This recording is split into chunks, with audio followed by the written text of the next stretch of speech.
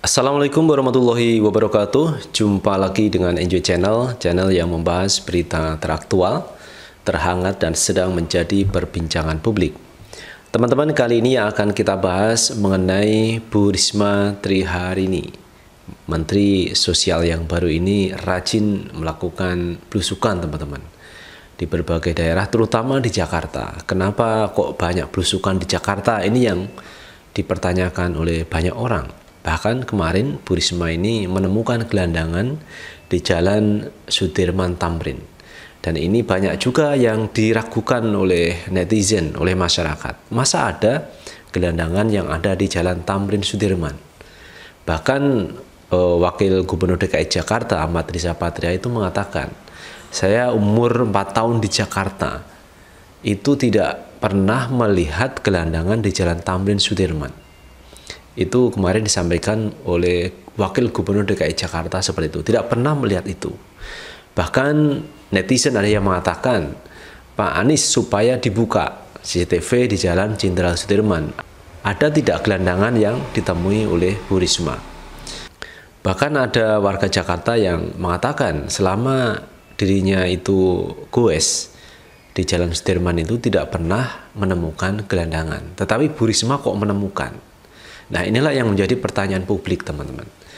Nah teman-teman terkait belusukan Bu Risma ini ada seorang warga Surabaya yang melaporkan ke kepolisian karena dianggap belusukan Bu Risma ini ada rekayasa sehingga Bu Risma ini dilaporkan ke polisi. Nah teman-teman untuk lebih jelasnya coba kita lihat beritanya. Ini kita ambil berita dari tempo.co teman-teman.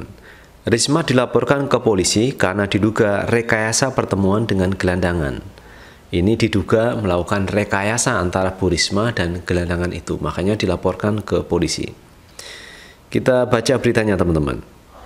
Menteri Sosial Tri Risma hari ini alias Risma dilaporkan ke kepolisian daerah Polda Metro Jaya karena diduga menyebarkan kebohongan melalui aksi belusukan terhadap gelandangan Pelapor mengaku sebagai wakil ketua umum pergerakan penganut Kitoh Nahdiyah, yakni Cecep Muhammad Yasin, atau biasa dipanggil dengan Gus Yasin.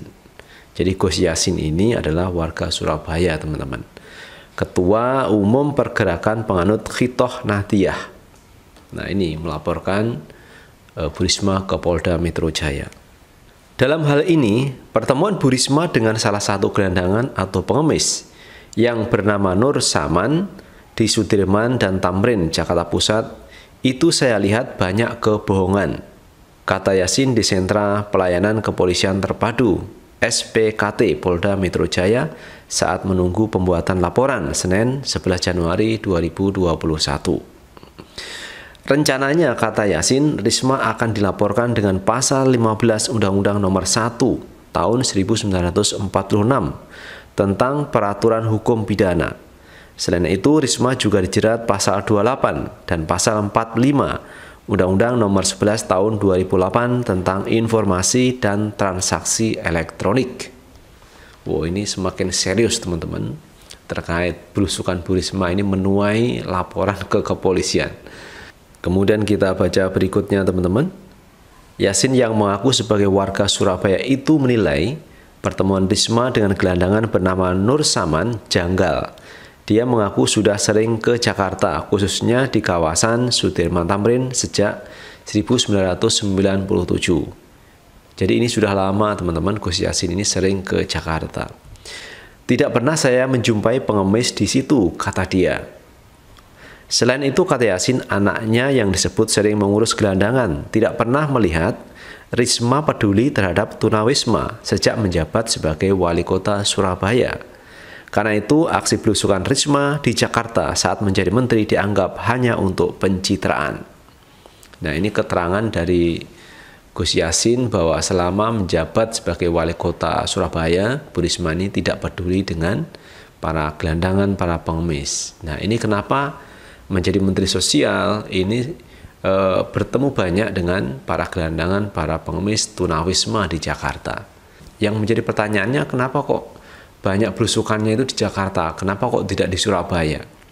Asal dari Bu Risma yang menjadi wali kota Surabaya, kenapa kok tidak Surabaya? Apakah Surabaya ini tidak ada pengemis, tidak ada kepeng, tidak ada tunawisma? Ini yang menjadi pertanyaannya. Harusnya kalau Bu Risma ini peduli, maka selesaikan dulu persoalan di Surabaya. Ada tidak warga Surabaya ini yang menjadi gelandangan, pengemis, kemudian tunawisma, jadi aneh ketika tiba-tiba begitu, kata Yasin, Risma menemui dua penyandang masalah kesejahteraan sosial PMKS di kawasan Jalan Sudirman Tamrin pada Senin 4 Januari 2021. Penemuan gelandangan di kawasan itu juga sempat dikomentari oleh Wakil Gubernur dan Wagub DKI Jakarta Ahmad Riza Patria. Kita kutip pernyataan dari Pak Riza Patria teman-teman, saya sudah hidup di Jakarta sejak umur 4 tahun. Baru dengar ada tunawisma di Jalan Sudirman Tamrin, kata Riza di Balai Kota pada Rabu 6 Desember 2020. Sebelumnya, Menteri Sosial Tri Risma Harini alias Risma menampik belusukan cari tunawisma di Jakarta dituding untuk menarik perhatian, apalagi disebut settingan. Saya gimana bisa nyeting? Saya tidak kenal kata Risma di Bekasi, Jumat 8 Januari 2021. Pertama kali bertugas sebagai Menteri Sosial, Risma mengaku tidak hafal jalan di Jakarta.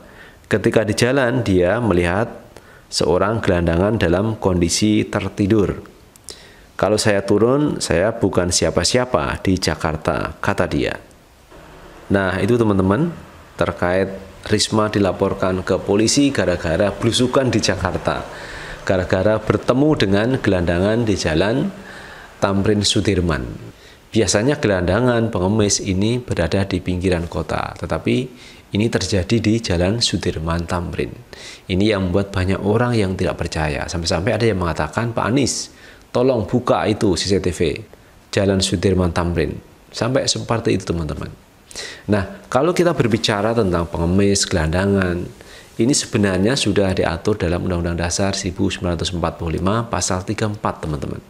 Yang berbunyi fakir miskin, anak-anak yang terlantar ini dipelihara oleh negara.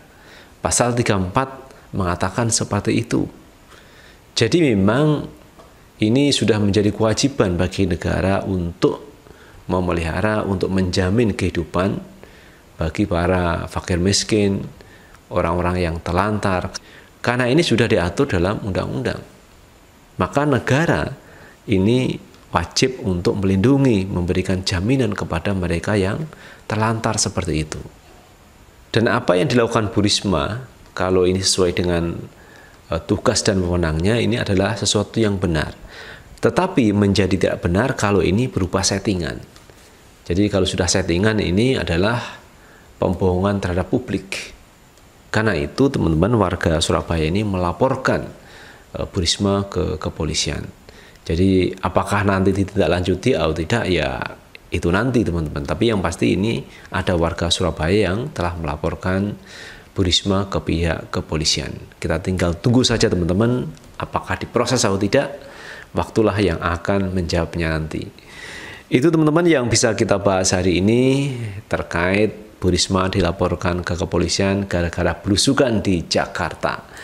Dan silahkan teman-teman tulis di kolom komentar karena komentar teman-teman akan sangat bermanfaat untuk yang lain. Dan terakhir teman-teman jangan lupa tetap like, subscribe, share, dan komen di channel ini agar kita bisa membangun channel ini menjadi lebih baik lagi. Sukses selalu. Assalamualaikum warahmatullahi wabarakatuh.